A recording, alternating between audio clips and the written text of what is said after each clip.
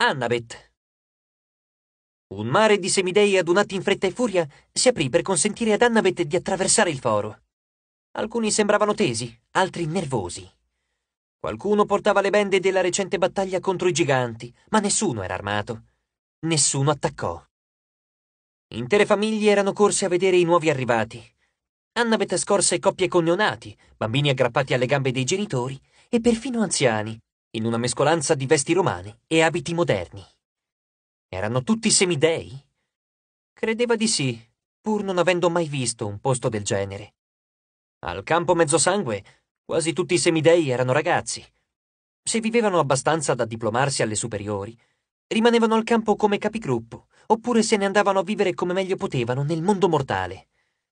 Quella, invece, era un'intera comunità multigenerazionale. Ai margini della folla, Annabeth riconobbe il ciclope Tyson e la signora O'Leary, il segugio infernale di Percy. Erano stati loro i primi esploratori del campo mezzosangue a raggiungere il campo Giove. Sembravano di ottimo umore. Tyson la salutò con la mano e sorrise. Indossava uno stendardo con su scritto SPQR, a mo' di bavaglino gigante. Una parte della mente di Annabeth registrò quanto fosse bella la città, il profumo dei forni, le fontane gorgoglianti, i fiori che sbocciavano nei giardini. E l'architettura. Colonne di marmo dorato, mosaici meravigliosi, archi monumentali, ville e giardini pensili. Santi numi, che splendore! Di fronte a lei, i semidei fecero largo a una ragazza in armatura romana e mantello viola. I capelli scuri le ricadevano come una cascata sulle spalle. Gli occhi erano neri come ossidiana. Reina. Jason l'aveva descritta bene, e anche se non l'avesse fatto, Annabeth avrebbe capito comunque che era lei a comandare. Aveva un'armatura decorata di medaglie e incedeva con una sicurezza tale che gli altri semidei arretravano ed evitavano il suo sguardo. Annabeth riconobbe anche altro sul suo viso, nella piegatura della bocca e nel modo deciso con cui teneva sollevato il mento, come se fosse pronta a qualsiasi sfida.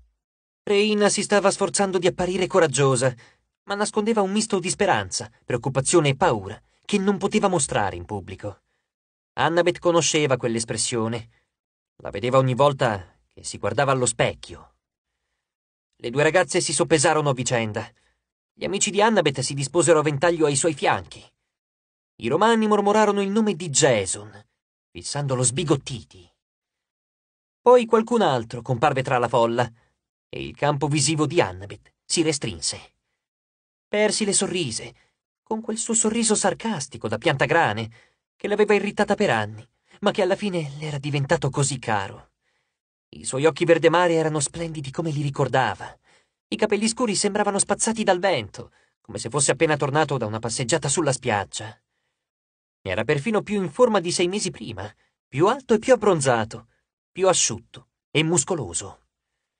Annabeth era troppo scombussolata per muoversi. Aveva la sensazione che, se gli si fosse avvicinata anche di un solo passo, tutte le molecole del proprio corpo avrebbero preso fuoco. Aveva avuto una cotta segreta per lui fin dai dodici anni. L'estate prima si era innamorata sul serio. Erano stati una coppia felice per quattro mesi e poi lui era scomparso. Durante la loro separazione era successo qualcosa ai sentimenti di Annabeth. Si erano fatti dolorosamente intensi, come se qualcuno l'avesse costretta a rinunciare a una medicina salvavita. Ormai non sapeva più quale fosse la tortura peggiore, se vivere con quell'assenza tremenda o stare di nuovo con lui. Reina drizzò la schiena. Con evidente riluttanza si rivolse a Jason. Jason Grace, mio ex collega pretore. Pronunciò la parola collega come se fosse una cosa pericolosa. Ti do il mio benvenuto a casa. A te e a questi tuoi amici. Annabeth non aveva intenzione di farlo, ma si lanciò in avanti. Percy corse da lei nello stesso istante. La folla si irrigidì. Qualcuno cercò istintivamente le spade che non aveva con sé. Percy strinse Annabeth tra le braccia. Si baciarono, e per un momento nient'altro ebbe importanza.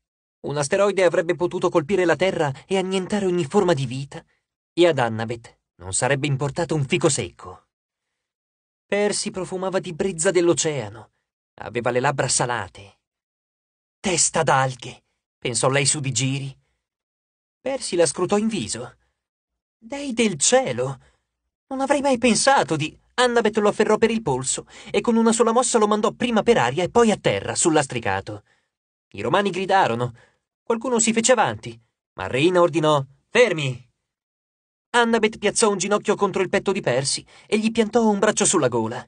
Non le importava di come l'avrebbero presa i romani. Un grumo di rabbia incandescente le si allargò nel petto, un macigno di preoccupazione e amarezza che si portava dietro dall'autunno. Se osi lasciarmi di nuovo, cominciò con gli occhi che le bruciavano. Giuro sugli dei che. Percy ebbe la faccia tosta di scoppiare a ridere. Annabeth sentì che il coagulo di emozioni rabbiose si scioglieva di botto. Considerami avvisato, replicò Percy. Anche tu mi sei mancata. Annabeth si alzò e lo aiutò a rimettersi in piedi. Avrebbe tanto voluto baciarlo ancora, ma riuscì a trattenersi. Jason si fece avanti, schiarendosi la voce. Allora, sì, è bello essere tornato.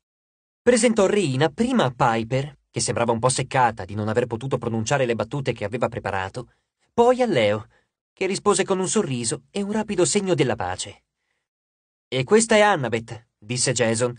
Eh, di solito non scaraventa la gente a terra con le mosse di karate. Gli occhi di Rina scintillarono. Sicura di non essere romana, Annabeth? O di non essere un'amazzone?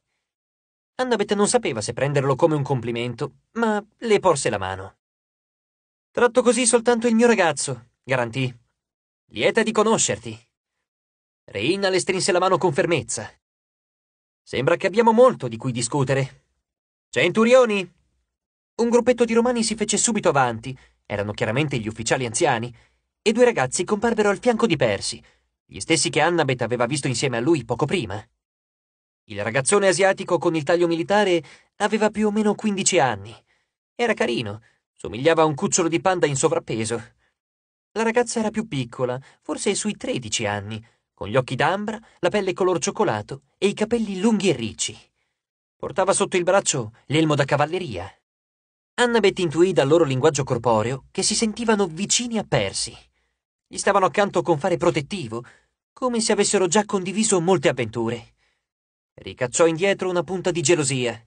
Possibile che Percy e quella ragazza... No, non c'era quel tipo di chimica tra loro. Annabeth aveva passato la vita a imparare a leggere le persone. Era una capacità necessaria per la sopravvivenza. Dovendo indovinare, avrebbe detto piuttosto che il ragazzone asiatico e la ragazza stavano insieme, anche se forse non da molto. C'era una sola cosa che Annabeth non capiva. Cosa stava fissando la ragazza?